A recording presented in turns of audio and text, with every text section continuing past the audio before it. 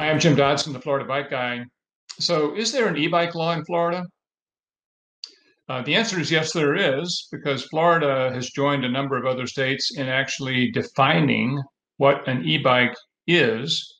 And that is a very important distinction that we all need to keep in mind. Um, an e bike in Florida, as Florida describes them, is a bicycle, and they have the same rights and responsibilities as a bicycle. They're treated the same as a traditional bicycle. But Florida has adopted um, a three classification system for defining what an e-bike is. Um, and they're, here they are. So a class one e-bike is one that has pedal assistance with a top speed of 20 miles per hour. And the way that operates is that uh, the rider is moving the pedals. It's just that the motor is giving some assistance to the rider, making it a little bit easier. But when the when they reach 20 miles an hour, the motor phases out, and you can actually ride an e-bike faster than 20, I suppose, but you're pedaling a much heavier bike all on your own energy. So that's the first classification: a pedal assisted to 20 miles an hour. There's also a category two or class two e-bike, which is throttle only. Uh, this is one that you could you could actually have an e-bike with no pedals. I assume uh, most of them do have pedals, but a throttle only is just what it says. You can you have a motor, and the motor runs the e-bike entirely up to 20 miles per hour. And the third classification is a an e-bike which is pedal assisted up to 28 miles per hour a category three or class three e-bike. Um, so there's a there are considerations to be given as to what e-bike you buy. Uh, the important thing to remember: there are vehicles being sold today, many of them that are generally lumped under the category of an e-bike, but they are no longer a bicycle at all, as Florida recognizes them. Um, there are bicyc- there are bicycles out there, e-bikes allegedly, that will go 30 or 35 or 40 or 45 or even more miles per hour. So if a uh, an alleged e-bike has the ability to go in excess of 28 miles an hour, more than a class three, then it's entering the uh, description of something other than an e-bike. You know, it's a moped or it's an electric motorcycle. It's some other uh, type of a vehicle.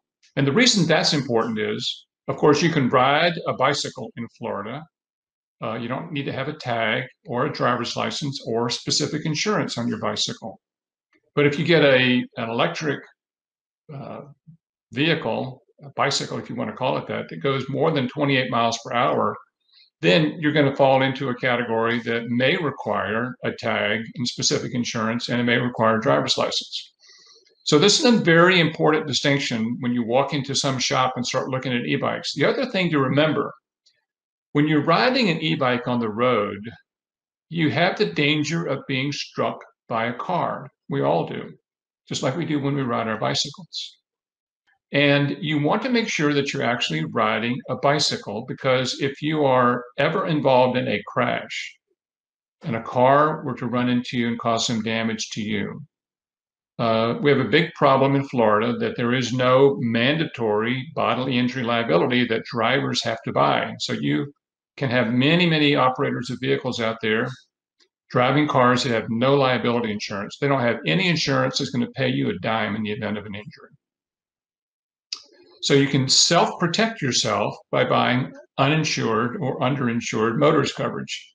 I'm going to say uninsured because it all is the same coverage in Florida. It's kind of treated very similarly. So we can protect ourselves on a bicycle by making sure that on our auto policy, we have purchased uninsured motorist coverage. And that will protect you against a driver who has no liability insurance or some, but not enough to pay the full value of your claim. And I've done other videos on uninsured motorist coverage, and I would urge you to maybe go over there and educate yourself on the issues. Uh, the important thing in terms of e-bike law is that uninsured motorist covers you on a bicycle. It does not necessarily cover you if you're on a motorcycle or something else that's um, in some other classification. Uh, so you want to make sure that when you're riding your your bicycle on the road, you're covered by your uninsured motorist coverage, and you will be covered if you have a class one, class two, or class three e-bike. And that's an important thing to keep in mind. Um, the other thing to remember too is that e-bikes are restricted in some certain areas. There's a restriction in the statute. Um, bicycles in general are permitted to ride on the sidewalk. But there are places I know down in St. in Sarasota, for instance, in St. Augustine, in some other areas, they're permitted to restrict the use of bicycles on sidewalks in the urban areas where tourists are running around, the sidewalks are crowded. But they also have the, the when they enacted this e-bike law, they gave the municipalities the right to control e-bikes on sidewalks in their jurisdiction. So you need to make sure that your jurisdiction where you live and ride, that you can ride your e-bike there and where you can and where you cannot. Another thing to keep in mind is that we have an extensive trail system in Florida, which is really, really awesome, and it's getting better every day, literally. Um, but there are trails, um, the, the Sun Trail system, if we call it, sh- uh, shared use non motorized.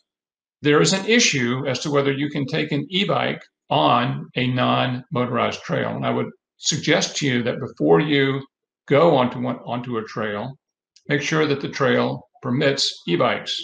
You don't want to be given a citation for riding on a trail that doesn't permit an e bike in general, the, the general trails do permit them.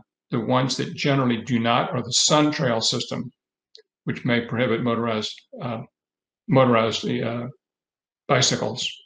So that is the general law of e-bikes. Um, like I said, we have additional information on our website. If you have questions about an e-bike, we actually produce our own e-bike buying guide. Uh, we make it available on our website, and I'd urge you to go there if you're interested in an e-bike start with our information because we explain e-bikes and the mechanisms and all the classifications, the things I talked about here. Make that to you. We'll give that to you free of charge. Just download it. Um, I'm Jim Dodson, the Florida Bike Guy. I've enjoyed talking to you about e-bike law in Florida. Take care and be safe. Bye.